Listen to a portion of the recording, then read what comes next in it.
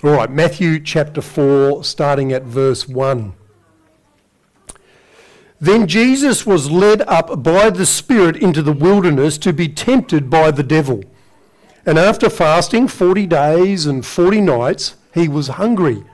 And the tempter came and said to him, If you are the Son of God, command these stones to become loaves of bread. But he answered, It is written, Man shall not live by bread alone, but by every word that comes from the mouth of God. Then the devil took him to the holy city and set him on the pinnacle of the temple and said to him, If you are the Son of God, throw yourself down. For it is written, He will command His angels concerning you, and on their hands they will bear you up, lest you strike your foot against a stone. Jesus said to him, Again it is written, You shall not put the Lord your God to the test. Again, the devil took him to a very high mountain and showed him all the kingdoms of the world and their glory. And he said to him, All these I will give you if you will fall down and worship me. Then Jesus said to him, Begone, Satan, for it is written, You shall worship the Lord your God, and him only shall you serve. Then the devil left him, and behold, angels came and were ministering to him. Uh, Kevin DeYoung is uh, a pastor of a Presbyterian church in America. He's a professor of systematic theology at the Reformed Theological Seminary, and he's an author of many Christian books. Uh, Jacob and I have been using his book, The Lord's Prayer, as a resource for this sermon series. And I mention all this because I'm particularly indebted to Kevin DeYoung uh, for this sermon. Uh, I found uh, the chapter on this uh, passage very, very helpful. So I've pinched a lot of his ideas. But I want to ask you this morning have you ever felt in danger? Well, Australia is a pretty safe place to live, but there are some pretty dangerous places to live around this world. I remember a pastor from South Africa expressing his surprise that in Tassie, parents let their kids go take their bikes to the local park without any supervision. He said, We would never do that in South Africa, it was far too dangerous. Uh, one of the few times I've felt threatened was uh, one day I went to visit uh, an elderly lady from our church many years ago, and while I was there, her brother turned up who'd just been released from jail, and he started to accuse her of stealing money. And uh, I tried to calm things down, and he actually turned on me and started threatening me and saying, telling me all these terrible things that he'd done to other people. And he said, I will find out where you live. And uh, it was pretty scary stuff. Thankfully, I had some uh, people in high places, uh, not only God, but a police officer who sorted that out for me. By God's grace, we don't face physical danger very often. But have you ever thought of the fact that it's also by God's grace that we don't face spiritual danger very often as well? Because the Bible is crystal clear that we are surrounded by spiritual dangers every single day. Uh, the Apostle Peter says, Be sober minded, be watchful. Your adversary, the devil, prowls around like a roaring lion, seeking someone to devour. And the Apostle Paul says, We wrestle against the spiritual forces of evil in the heavenly places. Jesus' disciples were keenly aware of the spiritual battle that they faced every single day of their lives. In fact, Jesus teaches us to pray in the Lord's Prayer and lead us not into temptation, but deliver us from evil. The last thing Jesus teaches us in the Lord's Prayer is our need to pray for God's help because we're in serious, serious spiritual danger. This morning, I want to look at what it means to pray, lead us not into temptation. We're going to look at three types of temptation, what it means to pray for God's leading, and we're going to compare Jesus' temptation with our temptations. But before we do all that, I just want to sit this sermon in the context of the previous two sermons. These last three requests in the Lord's Prayer express our three great needs as people our need for provision, for daily bread, our need for pardon, for forgiveness of sins, and our need for protection, deliverance from evil. As Kevin DeYoung notes, our stomachs need to be filled, our sins need to be forgiven, and evil needs to be fought. In fact, these three requests are almost Trinitarian. God the Father is our creator who provides our daily needs. God the Son is our Saviour who provides pardon for our sins. And God the Spirit is our helper who gives us power to live holy lives. Jesus teaches us that flowing on from our uh, daily needs and our forgiveness is a desire to avoid falling back into sin. We don't just pray that God would forgive us our debts, we also pray that God would lead us not into temptation. So let's take a look at that word temptation. The Bible speaks of three different types of temptation. The first way the Bible uses this word is to describe trials and tests. James, the brother of Jesus, says, Count it all joy, my brothers, when you meet trials of various kinds, for you know that the testing of your faith produces steadfastness. The word trials is the same word Jesus uses for temptations. And notice that James says we'll face trials of various kinds. You'll face all sorts of trials in your life. And notice the purpose of these trials. They test our faith with the purpose of producing steadfastness, of strengthening our faith. So, temptation can refer to the general suffering and struggles that we're called to endure as God's people. And trials aren't sinful in and of themselves, but they can cause us to doubt God or to compromise with the world or to give up on our faith. So that's the first way the Bible uses this word temptation. Secondly, the Bible uses the word temptation to describe external enticements to sin. Peter talks about how false prophets entice unsteady souls. Jesus talks about how the cares of the world and the deceitfulness of riches choke the word. Paul writes, But I'm afraid that as the serpent deceived Eve by his cunning, your thoughts will be led astray from a sincere and pure devotion to Christ. So Satan and the world and even other people can tempt us away from pure devotion to Jesus. They can entice us to sin. They can entice us to reject God's ways and go our own way. In fact, in our text, we see Satan tempting Jesus, which we're going to look at in our third point. But like Jesus, you and I will face external enticement to sin. But thirdly, the Bible speaks of temptation as internal enticements to sin. The, uh, James again writes, But each person is tempted when he is lured and enticed by his own desire.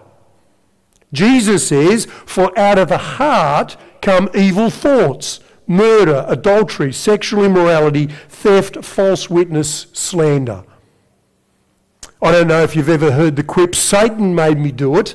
But the problem with that statement is Satan doesn't make us do anything. He only entices us to do the things that we already actually want to do. We are ultimately enticed into sin by our own sinful desires. So Jesus faced trials and external temptations to sin just like us, but he never had internal enticements to sin because he had no misplaced desires in his heart. Jesus says stuff like, My food is to do the will of him who sent me and to accomplish his work. And I seek not my own will, but the will of him who sent me. And I always do the things that are pleasing to him. Jesus was never tempted by sinful desires because his desire was always to do his Father's will. But you and I, we face these internal sinful desires. So, what does it actually mean to pray that God would not lead us into temptation? Well, firstly, it doesn't mean asking God not to entice us to sin, because God doesn't lead us to sin. God never entices his people to sin. Again, James writes, Let no one say when he is tempted, sorry, I'm always behind, I am being tempted by God, for God cannot be tempted with evil, and he himself tempts no one. God never wants or encourages you to do evil. It's not in his nature. But God does test our faith.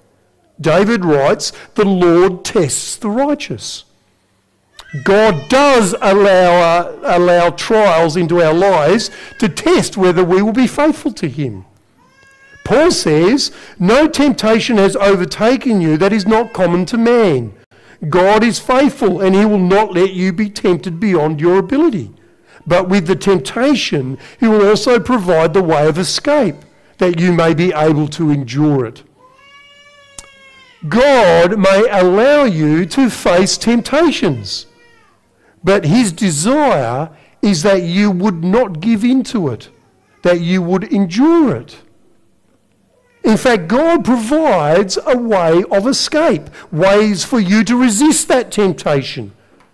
So when we are tempted, God wants us to turn to Him in prayer and ask for His help in that moment. When we're tempted, God wants us to go to His Word and, and look at how He wants us to live and respond in that moment. When we're tempted, God wants us to go to His people and ask for their help and their support. God might test our faith, but He never leads us into sin. So, what does it mean to pray, lead us not into temptation? Well, the key word there is lead. Jesus doesn't say, Father, do not tempt us. Rather, he says, do not lead us into temptation. Jesus puts it in the negative, do not, but you can also put it in the positive, which would be, lead me away from temptation. To pray this prayer means to ask God to lead us away from sin. In fact, that's exactly what Jesus says in the second part of this request deliver us from evil. He puts it in the negative and then he puts it in the positive. Both halves of this prayer are saying the same thing Father, keep me away from the law of sin. Do not allow me to be in a situation where the enticement to sin will be greater than I can bear. Help me see the way of escape that you have provided so that I might resist that temptation. When we pray, lead us not into temptation, but deliver us from evil, we are praying that God would help us win the battle against temptation and sin in our lives. We are praying that God would lead us away from sin, that God would, in fact, help us flee from those sins. As Paul says, flee from sexual immorality and flee from idolatry.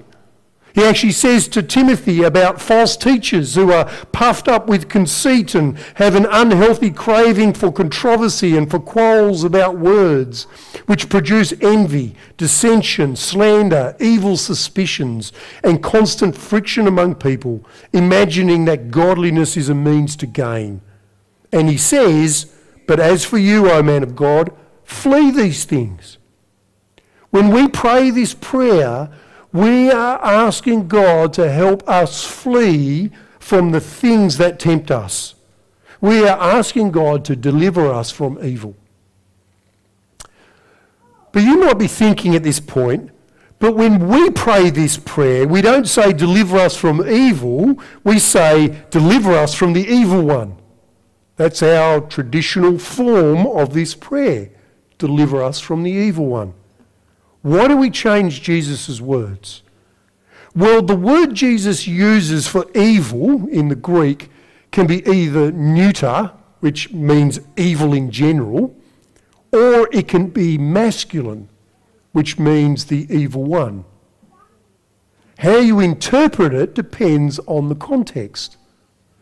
And many uh, people translating the Bible think the context is just evil in general. But I think there is a very good case for saying Jesus is thinking also, particularly about the evil one. I believe Jesus is also asking us to pray that God would deliver us from Satan. In Matthew's Gospel, Jesus' teaching about prayer and the whole Sermon on the Mount comes pretty much straight after Jesus' temptation in the wilderness.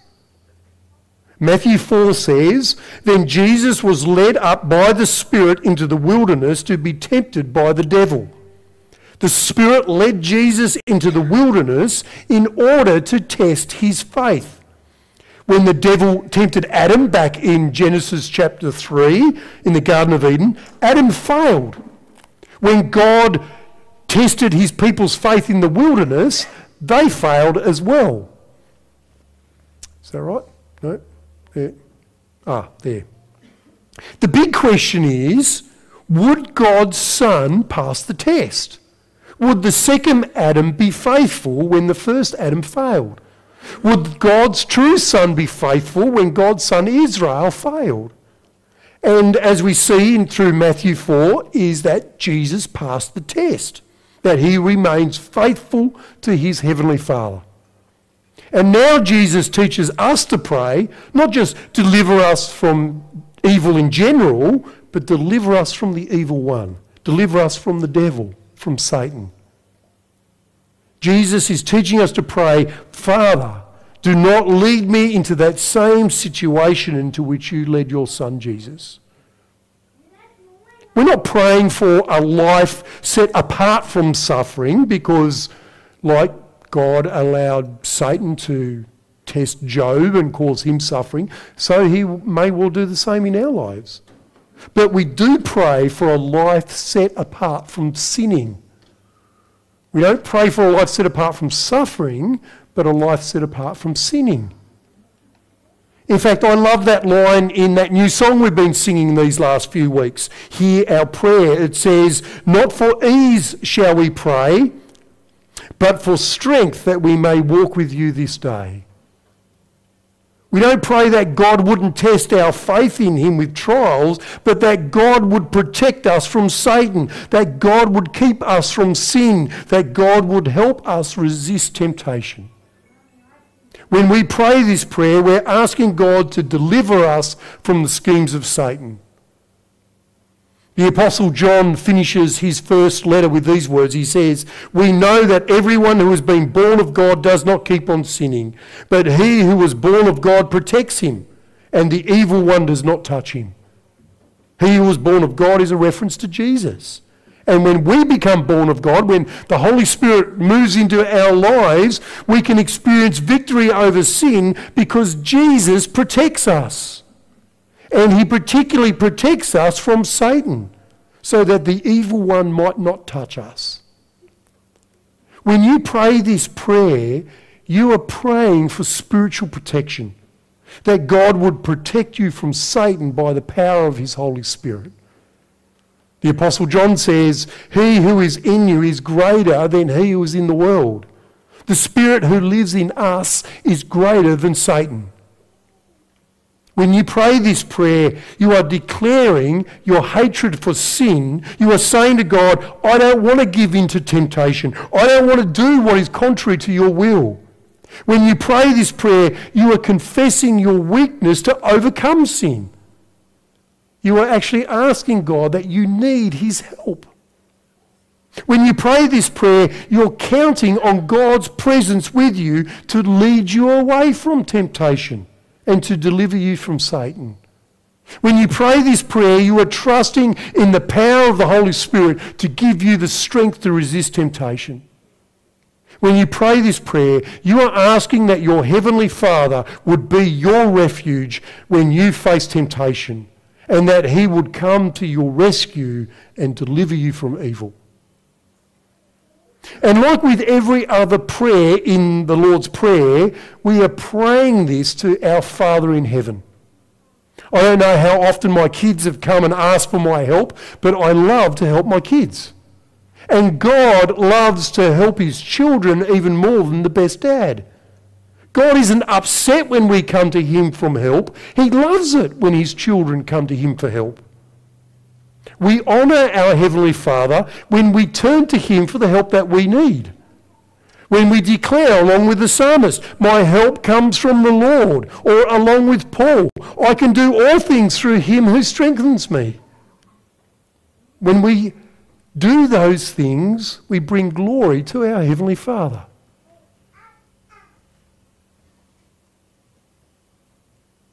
Maybe my battery's running loud. And helping us isn't hard for God. As Paul says elsewhere, he is able to do far more abundantly than all that we ask. God is able to help us in our time of need. Brothers and sisters, you need the Lord's help in your battle against temptation and sin, and He is waiting to help you. This is one prayer that you need to be praying every single day. If you pray every day for daily provision and daily protection or pardon, how much more do you need to be praying for spiritual protection? So let's unpack our text and compare Jesus' temptation and our temptation. Because the way Satan tempted Jesus is the same way he tempts you and me. And we see Satan tempting Jesus with three things. Firstly, Satan tempts Jesus with pleasure. After the Spirit leads Jesus into the wilderness, we're told, and after fasting 40 days and 40 nights, he was hungry. And the tempter came and said to him, If you are the Son of God, command these stones to become loaves of bread. Basically, if you are the Son of God, give yourself what you want. Turn these stones into bread. It's not that eating is sinful. The question is, would Jesus listen to Satan? Does Jesus love God more than food? Would Jesus pursue his personal needs and desires his way or God's way? And notice that Jesus fights Satan's temptation to seek his own pleasure with the source of his own pleasure. Verse 4 But he answered, It is written, Man shall not live by bread alone, but by every word that comes from the mouth of God. What was more important to Jesus than food was doing God's will. What brought Jesus more pleasure than fulfilling his hunger was obeying his heavenly Father. I want to ask you this morning is your greatest pleasure God or fulfilling your personal desires? You see, David sings, Your steadfast love is better than life. And the psalmist says, There is nothing on earth that I desire besides you, and for a day in your courts is better than a thousand elsewhere. I would rather be a doorkeeper in the house of my God than dwell in the tents of wickedness. Is God your greatest pleasure? Because if he isn't, Satan will tempt you with other pleasures. If you don't find comfort in God, Satan will tempt you to find comfort in in the praises of other people, or in your material possessions, or in sexual pleasure? Is God your greatest pleasure? But when pleasure fails to tempt Jesus, Satan tempts Jesus with pride. Verse 5 and 6. Then the devil took him to the holy city and set him on the pinnacle of the temple and said to him, If you are the Son of God, throw yourself down. For it is written, He'll command His angels concerning you, and on their hands they will bear you up, lest you strike your foot against a stone. The temptation is for Jesus to prove Himself, to put His power on display for everyone to see. Satan even quotes Scripture which reminds us that just because someone quotes scripture doesn't make them a Christian. Satan actually turns a biblical promise into an opportunity for spiritual pride. It's not that Jesus shouldn't display his power. In fact, later Jesus uses his power to heal people and to feed people. But Jesus is meant to use his power to bring God glory, not himself glory. God's power reflects God's character. It's not a party trick. Again, Jesus quotes scripture, Deuteronomy 6:16. 6, Jesus said to him, "Again it is written, you shall not put the Lord your God to the test." God does not need to prove himself to us. God does not exist to make us look good in front of other people. Like God does not tempt us, so we are not to tempt God. And while God might test us, we're not to test God. You know, Gideon putting out a fleece is an example of his lack of faith in God's grace. It's not an example you and I are meant to follow. Like Satan tempted Jesus to pride, so Satan will tempt you and me to make life about yourself instead of about God. But when pleasure and pride fail to tempt Jesus, Satan tempts him with power. Verse 8. Again, the devil took him to a very high mountain and showed him all the kingdoms of the world and their glory. And he said to him, All these I will give you if you will fall down and worship me. The thing is, all the kingdoms of the world belong to Jesus anyway. What Satan was offering Jesus was a shortcut to power. Instead of going through the cross, all Jesus had to do was go through Satan. Instead of suffering, all he had to do was submit to Satan and he would get there. Satan always tempts us with the easy way. As Kevin DeYoung puts it, he offers us a crown without a cross, pleasure without the pain, success without sacrifice, and admiration without affliction. Satan tempts us to get legitimate things using illegitimate ways. He gets us to go after the right things in the wrong way or for the wrong reasons. Satan excels in deceiving people by twisting God's word. Paul says Satan disguises himself as an, uh, an angel of light. But Jesus refuses to bow to Satan. He refused the shortcut to power. Verse 10 Then Jesus said to him, Begone, Satan, for it is written, You shall worship the Lord your God, and him only shall you serve. There is no shortcut. Am I wrong again? Yep, there we go. There is no shortcut to power. There's only God's way, and often that way steers through suffering. It veers through the valley of the shadow of death. It's reached through the cross. The way to power is through humility. Like Satan tempted Jesus to take shortcuts to power, so he will tempt you and me to do exactly the same. I want to ask you of those three, which is your weakness? Some people aren't interested in recognition or power, but their weakness is pleasure. They want to feel good. They want to be comfortable. They want life to be easy and fun. Satan will pander to your desire for pleasure. Other people want recognition. They want to be famous. They want people to notice them. They want likes and follows. They want people to pat them on the back and tell them how awesome they are. Satan will pander to your pride. Other people want power. They want to call the shots. They want to be in control. They want authority. Satan will encourage you to take any shortcut to get what you want.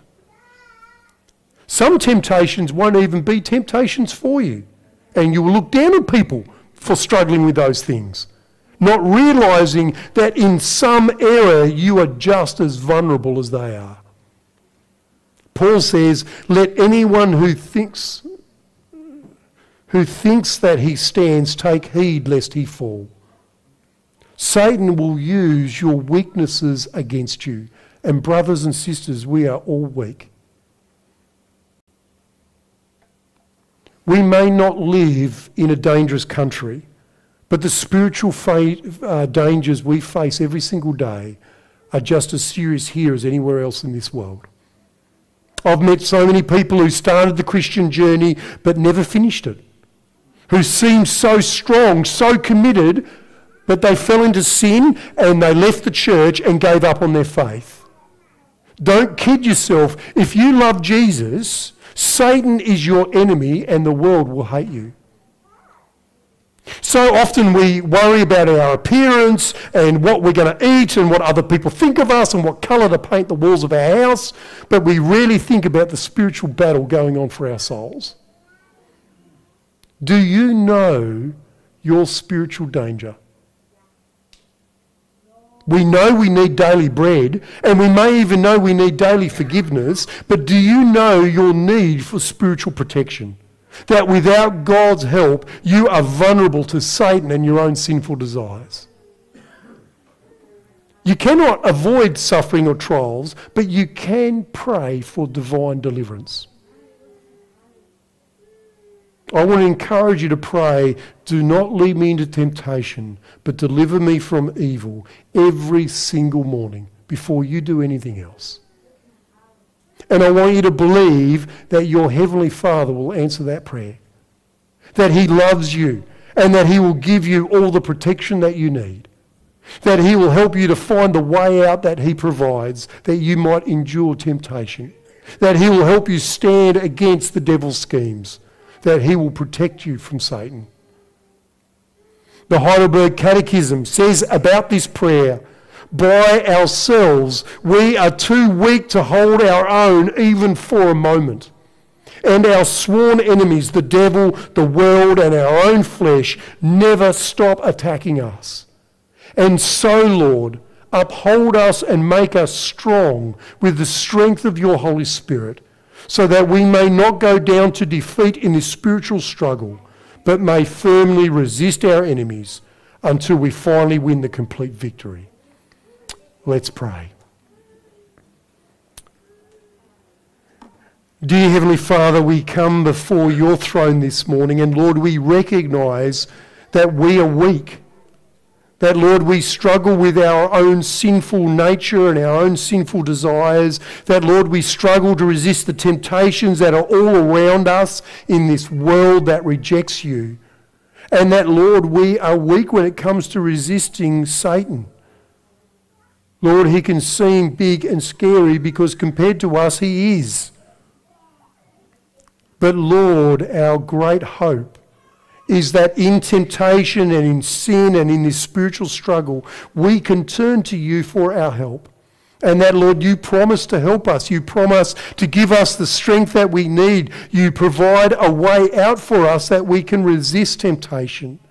And so, Lord, I pray that when we feel tempted, that, Lord, we would turn to you and that we would pray this prayer Lord, lead us not into temptation, lead us out of temptation and Lord, deliver us from evil.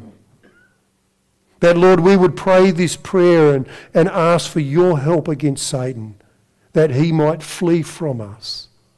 Lord, I pray that as we turn to you and to your word and to our brothers and sisters in Christ, that you would deliver us from evil. Lord, help us to be the people you want us to be. Lord, you don't want to lead us into sin. You cannot do that. Lord, you want to lead us towards yourself. You want to lead us towards holiness. Lord, you want to deliver us from evil. So, Lord, we confess that so often we don't turn to you in those moments. And, Lord, we fall into temptation and sin. We get sucked into it by our sinful desires. And so, Lord, we pray that you would help us turn to you in those moments, that you might deliver us, that we might bring you glory. In Jesus' name, amen.